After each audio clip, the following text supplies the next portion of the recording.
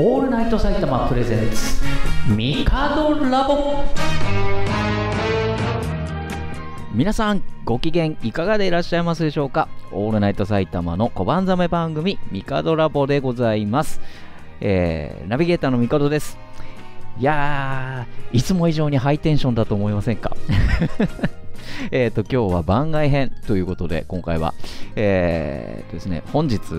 えーこれ収録しているのが、えー10月18日火曜日、えー今日はもう取って出しでいきたいと思います。なぜならこれは、えーとタイムリーに行かなきゃいけない話題だからです、えーなんと、えーと、オールナイト埼玉の YouTube チャンネル、チャンネル登録者数が念願の100人に到達いたしましたいやー、めでたい。いやー、めでたい。長い道のりでございました。もうね、3年目ですよ、このチャンネル始めて。やっと100人に到達したんですよ。ということで、この喜びをですね、えーいろんな人と分かち合いたいなというふうに思っておりましてですね、えー今回、えー緊急収録ということでございまして、え番外編、えー100人突破記念ということでやらせていただきたいと思います。ということで、えー今回もリスナーの皆さん、視聴者の皆さんのお貴重なお時間を少しだけ拝借させていただきます。どうぞよろしくお願いいたします。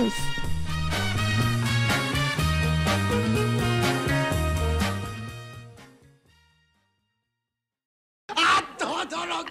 食べ頃いや、でもね、油断できないんです。っていうのもですね、あの、過去にですね、何回もあったんですけど、あの、オールナイト埼玉の番組内で、えー例えば、えーチャンネル登録がついに80を突破しましたって言ったら、翌日ね、2人減ったとかね。どういうことだよみたいな。えありましたし、あの最近で言うと、そのえっ、と、90超えた時か、90超えた時も、本当に1日か2日後に1人減ってたんですよ。何の意地悪ですか？みたいな。だよみたいな、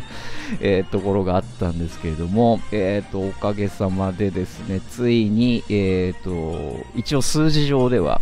えー今のところですね、えーこれ収録してる段階ではなんか減ってないんで大丈夫だと思いますけど、えー100人、ついに到達いたしました。どうもありがとうございます。って言って、明日5人ぐらい減ってたら嫌だな。まあ、そうなったらそうなったで、ネタなんだろうなと思いながらね。えーまあでも、あのいや、本当長い道のりだったですよ。えっ、と、最初はね、順調に増えてたんです、実を言うと。あのまあ、えー私たちもその宣伝かけてましたですからね、あのまあ、えっ、と、Facebook ライブで、えー、と聞いていただいてる方、まあ、あの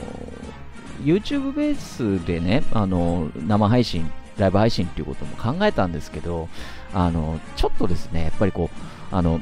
うちのオールナイト埼玉という番組は、あの音楽かけたりするんでね、えーなので、あのアーカイブとして、えー、と YouTube 厳しいのであの音楽かけてたりするともう即バンなんですよ。あの、まあ、ライブ配信中はいいんです。ライブ配信中はいいんですけれどもでライブ配信止めますよね。でそうそうした瞬間にバンされちゃうっていう。で変なリスクを負いたくないなっていうのがあったんで。であのまあ Facebook が緩いってわけじゃないんですけどあの Facebook はあのえーその配信ごと、あのアーカイブごとバンごとバンするんじゃなくて、えっ、と、割と丁寧というか細かくやるんですね。あの、その音楽が流れてるところだけ、あの、著作権引っかかってて、えっ、と、まあ、大概引っかかるんですけど、もちろん。で、あの、そこだけ、あの、無音にするっていう感じで、えーアーカイブを視聴することができるっていうんで、で、それで、しばらくやってたんですけど、やっぱり、あの、YouTube に載っけたいねっていうことになって、番組開始から約1ヶ月かそこら経過した頃から、えー、そこまでかかんなかったかもしれないけど、えっ、ー、と、2週間後とかそんぐらいかな、えー、あたりから、あの、音楽をカットして、えー、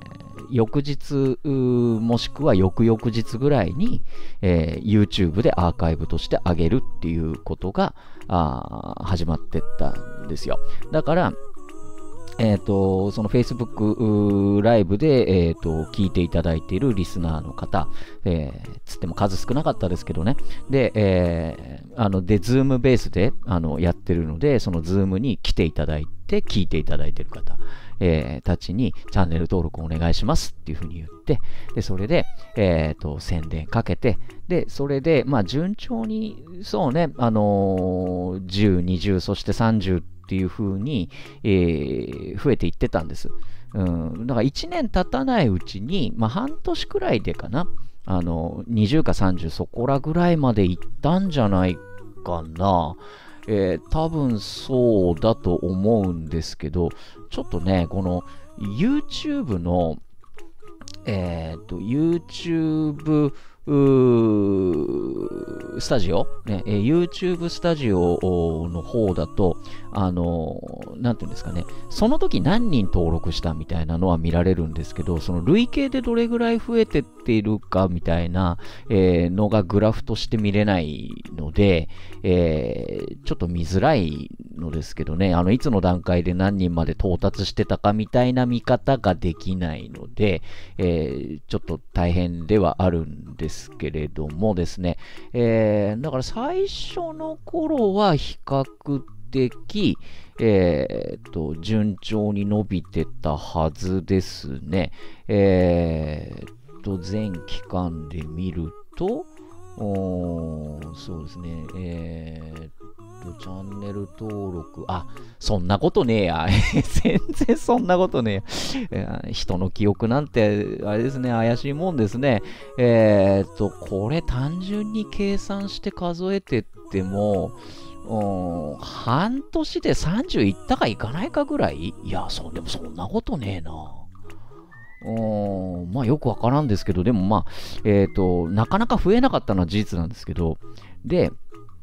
ところが、あのー、ですね、えっ、ー、と、2022年に入る段階で多分70いくつまでは行ってたはずなんですよ。確か。あの、今年に入った段階で70いくつまで行ってて、で、そっから、まあでも70いくつに到達するのに2年かかったっていうのもどうかと思いますけどね。で、えそっから1年経たない、えー、今の状況、まあ10ヶ月ぐらいでそっから一気に30増えて、で、あの、最近の伸びが半端ないんですよね。あの、確か、確か過去90日で見れば、プラス、うん、プラス15ですよ。だから、えー、ここのところで結構増えたんだなっていう感じですね。1年間のベースで見てみますと、えー、ここから遡ること1年間のベースで見たとしても、多分、プラス30とかそんぐらいなんじゃないですか。多分。えー、なかなか出てこんの。うん。まあ、後でこうこうやって喋ってるの切っちゃえばいいか。なんだ？回線が、うん、42か。だから、えー、っと、15の、うん、まあだから30いかないぐらいか。1年間で。うん、ということですからね。まあだから、この1年間で結構伸びたんですね。うん、この1年間でほぼ半分稼いでるということは、最初はいかにチャンネル登録少なかったかってことですよ。うん。で、ここ、ここ1ヶ月ぐらいの伸びが非常に、すごかった。で、で、えっ、ー、と、この1ヶ月、この1ヶ月で9人ですから。うん、ということを考えると、うん、3、3ヶ月で？90日、3ヶ月で15のところ、えっ、ー、と、この1ヶ月で9ですからね、かなりの伸びだなと思いますね。えいや、ありがたいです。本当に100人、えーにやっと到達したということでして、で、このチャンネルアナリティクスというのを見るとね、いろんなことがわかるんですけど、あの、でね、最近の傾向ですごく嬉しいのは、あのこれね、そのチャンネル登録してる人が、あの毎日毎日どれぐらいの数見てくれてるのか、えーそれからチャンネル登録してない人がどれだけ見てくれてるのかっていうのも、これね、恐ろしいことにデータで出るんですけどね。で、あの、今までは、あの、1日最大、その両方合わせて50ぐらいが関の山だったんです。1日で。えーなんだけれども、えっ、と、で、しかもね、あの、ほら、えっ、と、視聴率男の泉優さんがいるじゃないですか。あの、まあ、何回も言うけど、本人嫌がってるけど、ね、あの、事実だからしょうがないよ。ね、泉さん諦めな。で、あの、彼が、あの、宣伝すると、ね、あの、未登録の人の視聴がものすごい伸びるんです。うん。もう本当にポカーンとでっかい山になってるから、あの、わかりやすいぐらいですね。えー、なんですけど、あの、チャンネル登録してる視聴者もっと頑張ってくれやって俺は思ってたんです、ずっと。なんだけど、最近になってようやく未登録を、えっ、と、チャンネル登録済みが、あの、上回る状況が増えてきました。で、しかも、えっ、と、おとといに至っては、チャンネル登録済みの方が、えっ、と、視聴したのが51。で、えーチャンネル登録じゃない人が視聴した数が、えー43、ねえー合わせて、えー100近くいってるという恐ろしいことが起きてるんですよ。えーえーこれは初めてだなというふうに思います。うーわ、恐ろしいな結構伸びたんだなって、えー本当に思いますね。で、おそらく昨日の17日が多分一番伸びてるような感じなんですよね。このグラフ見ると。ただデータが見られない。まだ集計中なんでしょうね、きっと。うん。いやー、なんかここのところ、すごくあのうちのチャンネルの状況が変わってきてて、えー本当に驚くばかりなんですけれど、えーいや、本当にあのチャンネル登録済みのえーですね、えーと、リスナーの皆さん、視聴者の皆さんが、あの本当にですね、えーと、定着してくれたんだなと。えーまあ今まではチャンネル登録したけど忘れちゃったとかね。あの、一応お情けでチャンネル登録しましたけどみたいな方も多分いたんだと思うんですよ。ねえーなんせ前はあの1週間に1回しか動画上がらなかったですからね。で、しかもその動画は動くやつじゃなくて、えー、とただね、あの、むさいおっさんと、えー、と、とっちゃん坊やが、えーくっちゃべってるだけみたいな、あのそういう、えーね、あのラジオとも言えないような、えーまあラジオだと思ってますけど、僕たちは。えー、とそれが、え上がるだけ。で、ごくたまに、え私、帝が、あ旅に出た記録も兼ねた、あの取材レポート動画っていうのをごくたまに上げるみたいな、あのそういう状況でしたから、ねえーなかなかそれはチャンネル登録伸びないだろうと、えーあよくよく考えてみればね。うん、ですが、あのそれこそ怪我の巧妙ですよね。あのちょっと私が喋りすぎて、その番組が荒れてるんじゃないかって、えーオールナイト埼玉荒れとるぞ荒れとるぞと、えーいう指摘を受けて、うん、私、本当に真剣に考えたんですよ。で、えーとやっぱりその週に1回っていうと、あのやっぱはしゃぎすぎちゃうから、私が。だから、えーとガス抜きも兼ねて、あの一人喋りの番組を始めるしかないのかなというふうに思って、えー上げてみたところ、えーちょっと予想しなかったぐらい、えーですね、あの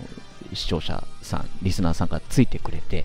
あの非常にあの嬉しく思ってます。えー手前味噌ながら、あの私がその一人喋りの番組、ミカドラボを始めたことも、えーチャンネル登録が、えー伸びた、えー要因の一つなのかなと、えー一つになってくれてるかな、まあそうだとしたら、えーまあそのね、この番組に、えーオールナイト埼玉のリスナーさんを増やすっていうのにあの貢献できたと。あの微力微力ながらね貢献できたっていう意味で、えーすごくあの嬉しく、えー思ってます。ね、あのあくまでも、えー、小賀ちゃんとそれから、えー不詳私帝が、えータッグを組んで、えーコンビを組んで、えー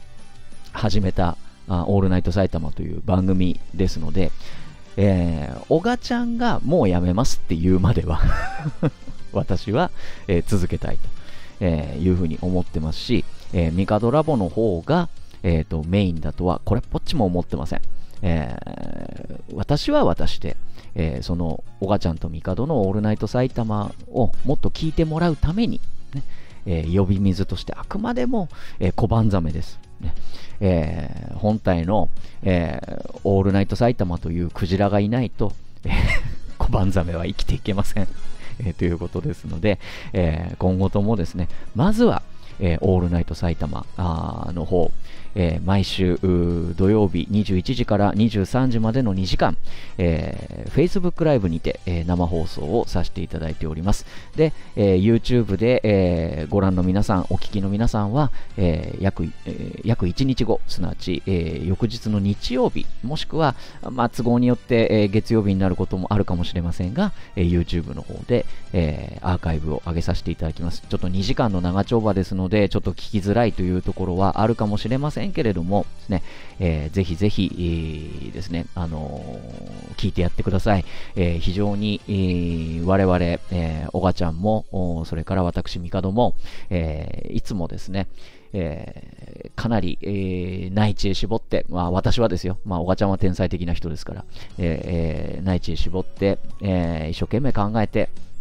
で、台本作って、でそれで、えー月1パーソナリティさんというですね、あの心強い、えー味方、えーをですね、毎週のようにお迎えして、え楽しいトークを展開させて、えいただいているつもりです。ねえまだまだ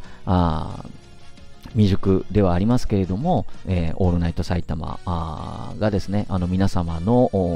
心に響くように、えーもそうですし、えー週に1回ぐらいね、えー夜、うー家事が終わったね、その土曜日の夜のひととき、あのゲラッゲラ笑っていただいてね、えーというふうに思っております。えーそして、え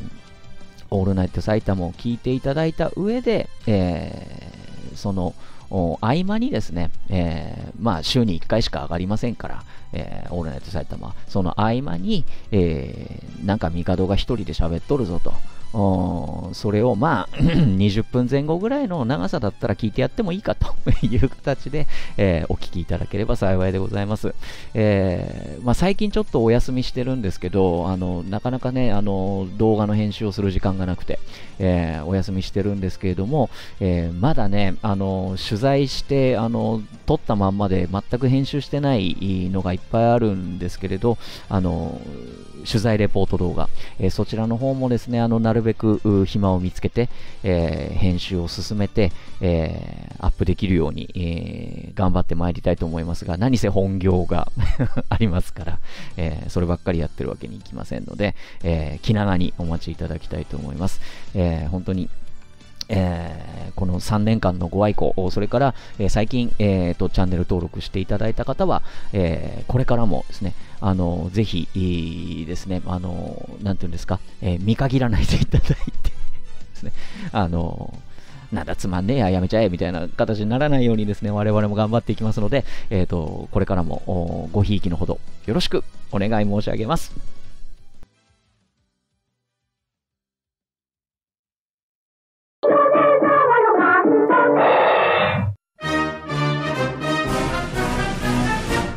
い、皆さんいかがだったでしょうか？ね。いやー、もうほんとテンション高く、多分こんなにテンション高く喋ったの初めてなんじゃないかな。いや、だって嬉しいですもん。やっぱり素直に。ね。やっぱり、あの先週から今週にかけて、ちょっと本当に予想もつかなかったような、えー展開が、あー次々とあのうちの番組、それからあの、まあ、YouTube チャンネルを中心にあのうちの番組に起きていて、いや、本当にですね、あの、驚きすぎちゃってですね、もう本当に、あの、吐きそうですよ。ということではあるんですけれど、いや、もう本当に、あの、驚くとともに素直に嬉しいですね。えー、まあ、あの、泉優さんの友達いっぱいのね、えー泉優さんの力を借りずに、えー、100以上に到達したっていうのも驚きでしたし、えー、まさにその動画でも友達100人できるかなのハードルの低い世界ですよっていう風に言ってたのがですね、本当に友達100人できちゃいましたから。ということで、えー、これからも、改めてですね、あの、これからも、えー、ごひいきのほどよろしくお願いしたいと